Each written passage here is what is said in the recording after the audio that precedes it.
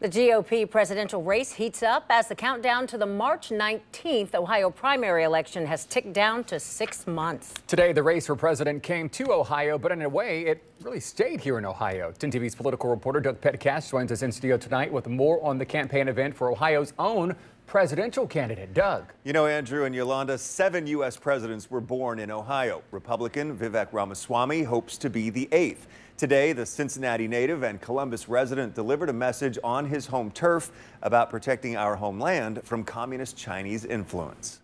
We're in the middle of a national identity crisis today. Republican presidential candidate Vivek Ramaswamy told a crowd of workers and supporters at Atrium Packaging in New Albany one of the ways to restore that identity is by, as he put it, declaring independence from communist China. Our greatest adversary is also our greatest supplier of the very military equipment that we build to deter that adversary. The posters behind him on stage lay out his vision for breaking free from Chinese economic influence if he's elected president.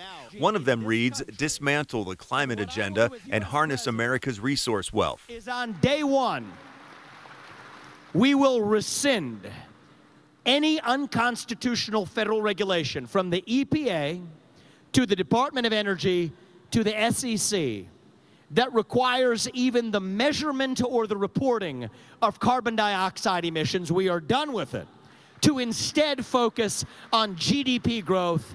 Ramaswamy also said America must bring more semiconductor production back here, pointing out the massive Intel memory chip plant being built in central Ohio.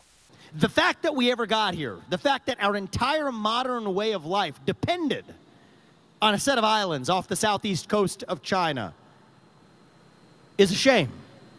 We must learn from our past or we're destined to make the same mistakes again.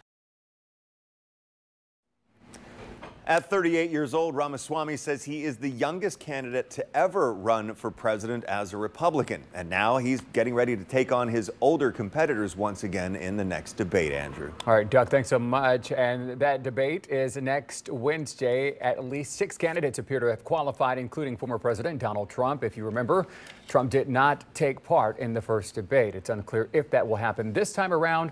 Among those who have qualified, Mr. Trump's former Vice President Mike Pence and Ramaswamy.